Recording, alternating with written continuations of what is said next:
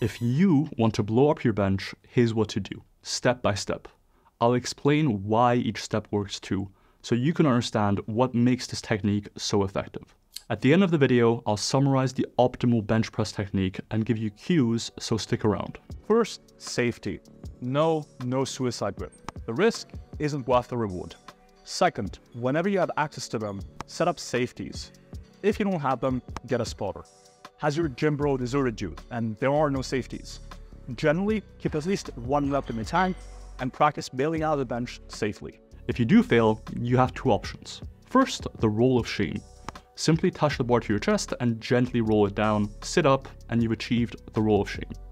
Second, the side bail. For this technique, do not add clips to the bar.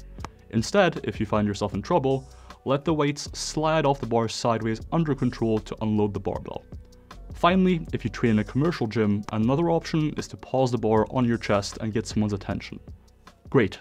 Now that you know how not to die, let's talk about equipment. We need to make sure the equipment is ready so we can bench press effectively. Ensure the bench is grippy enough that your shoulders won't slide. If you tend to get sweaty and the bench is slick, you can try wearing a t-shirt, especially a grippy one like this one.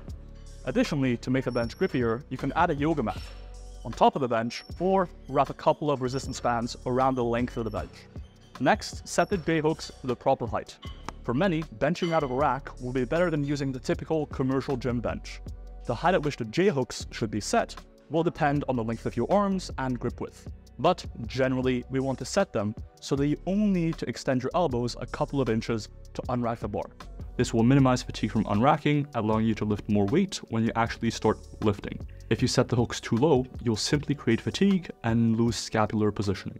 Speaking of scapular positioning, let's set up our shoulder blades to bench press effectively. Retracting our scapula allows us to reduce the range of motion slightly, making the lift a bit easier.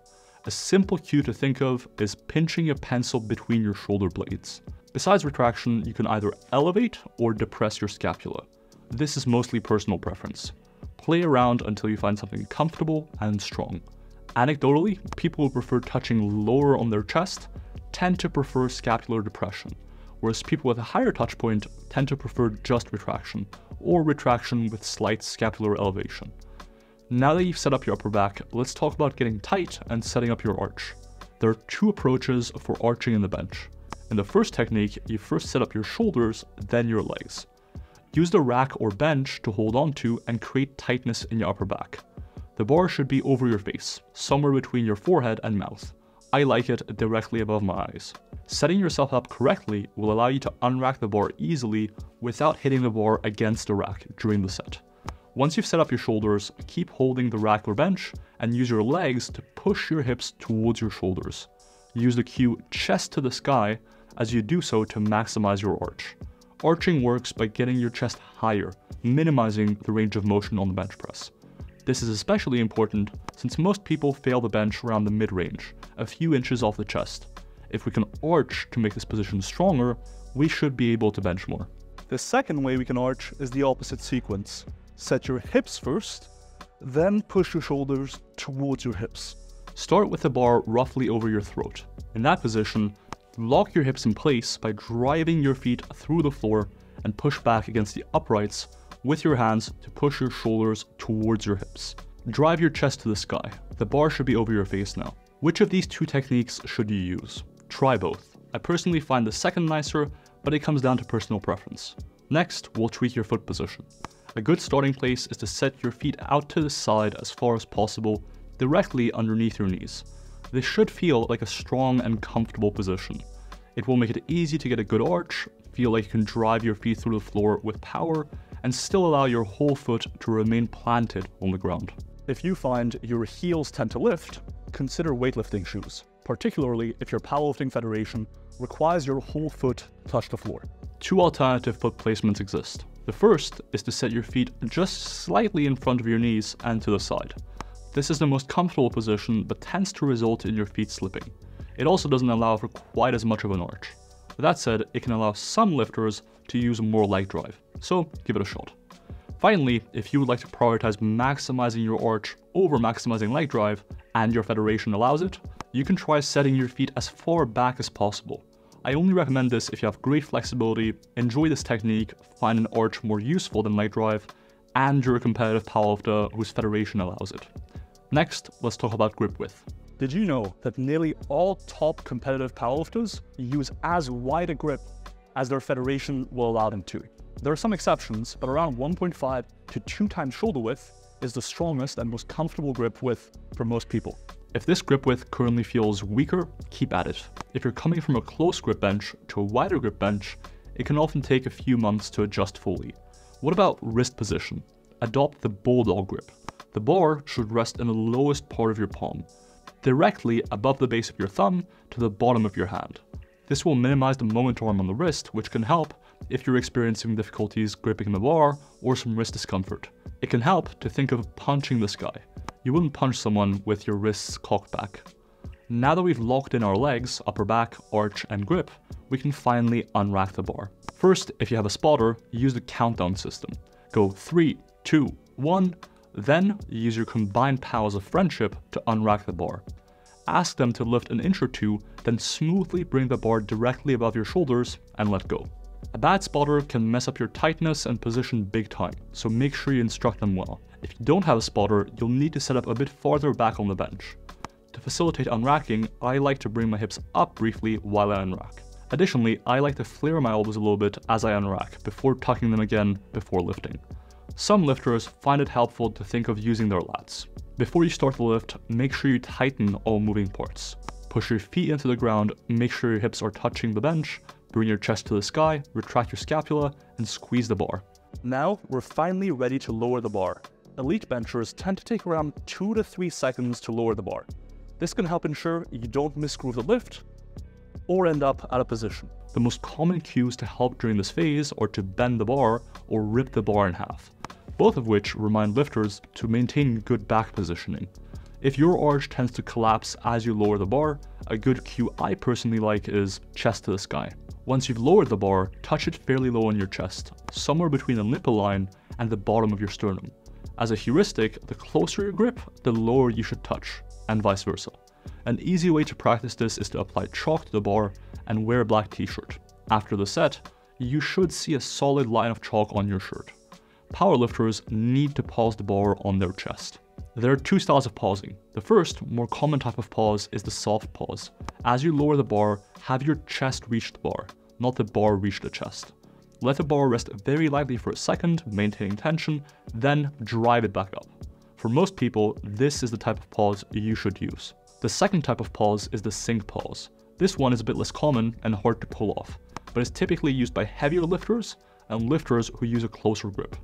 This technique is a double-edged sword. On the one hand, it can mean trouble in competitions, since you need to hold the bar steady during the pause before the judge will let you press the bar back up. It can also increase the chances that you might get called for heaving if you get a fast press call. Sinking the bar makes this tougher. Additionally, since you're letting the bar sink, you're increasing the range of motion slightly. On the other hand, it can let a lifter use greater leg drive and increase strength off the chest by extending your spine as you press the bar off the chest. Now it's time for the hard part, actually lifting the weight. Drive your feet through the floor as if you're trying to push your whole body back on the bench. This is called leg drive. As you start pressing the bar, flare your elbows out to bring the bar back over your shoulders. This J-shaped bar path is commonly used by elite lifters. By bringing the bar back over the shoulders as quickly as possible, you're reducing the moment arms that you're fighting against, increasing your efficiency on the bench. This is arguably the most important part of the bench press. Much in the same way, you can overhead press more than you can front raise due to a simple concept called moment arms. Pressing the bar back then up will allow you to bench more. The longer the distance between a joint axis and the line of force, the greater the torque your muscle will need to produce to overcome it.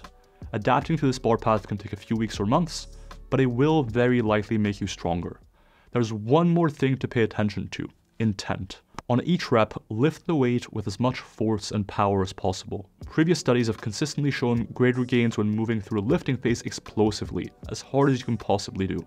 One study found twice the bench press gains when doing this versus pressing the bar intentionally slower. As promised, here's a cheat sheet of each aspect of great bench press technique and what to do, alongside an effective cue. Now, I anticipate you have questions. Since we put out the full 100 page How to Bench Press article, you've asked many questions.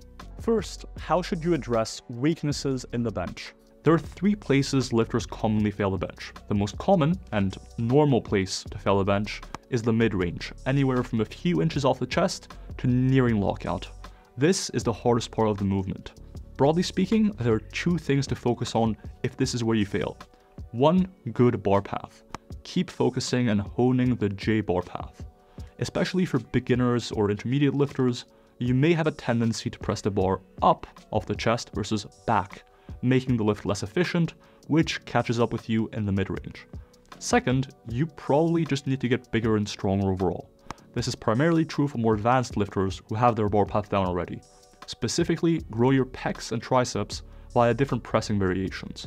We have many videos on building muscle on the channel, so I won't go in depth here. Go check some of those out. Next, we have lockout. Failing at lockout is relatively rare, but it does happen. Typically, it's down to two things, elbow position and or general tricep and pec strength. Near the top of the rep, you should have internally rotated the shoulders to make the lift easier on your triceps. Your elbows should be facing away from each other, not towards your hips. Alternatively, experiment with using a bit less scapular depression. Depressing your scapula shortens your pectoralis major, reducing how much force it can produce. Reducing scapular depression can put your pecs in a stronger position, allowing you to grind through the lockout more efficiently. If this looks good, you likely just need to get stronger overall, particularly in your triceps and to a lesser extent, your chest. Finally, the least likely failing point is on or right off your chest. If you fail off the chest, it probably has to do with front delt strength. Because of the moment arms involved, this is by far the hardest part of the lift for your front delts. Grow and strengthen your front delts. Alternatively, you might just be touching bit too low on your torso, increasing the strain on your front delts. Growing your front delts via incline pressing or other front delt focused movements, growing your pecs and triceps more generally, and touching a bit higher on the chest are all valid ways to remedy this sticking point. Another common question revolves around the new IPF bench press depth rule. The bottom of your elbows needs to reach the same level or lower than the top of your shoulders for a bench attempt to be successful. How do we achieve this? Well, if you're someone who struggles to achieve this, there are a couple of options. First, simply decrease your arch. Second, touching a bit higher on your chest and flaring your elbows a bit more on the descent. Finally, adopting a closer grip can also help. Experiment with these three changes to tweak your technique until you find what's strongest while allowing you to reach depth. Finally, you may be interested in what the best bench press technique for muscle growth is. A review paper by the good Dr. Pak at Strong by Science identified a few key characteristics of good technique for muscle building from the literature. First, we want to train a muscle in the stretch position. So reduce the amount of arching involved and potentially adopt a narrow grip. Second, we want a reasonably controlled eccentric and an explosive concentric, which jives well with our recommendations for strength. Finally, we want the target muscle to be the limiting factor and reduce the involvement of non-target muscles. If you're going mostly for pec and tricep growth, touch the bar somewhat higher on your chest. For front delt or tricep growth, touch the bar somewhat lower on your chest. If, instead, you'd like to consult a coach on your training, go to stronger slash coaching. Or to receive bi-weekly free email updates on the latest research, go to strongerbyscience.com slash newsletter. Stronger by Science, until next time.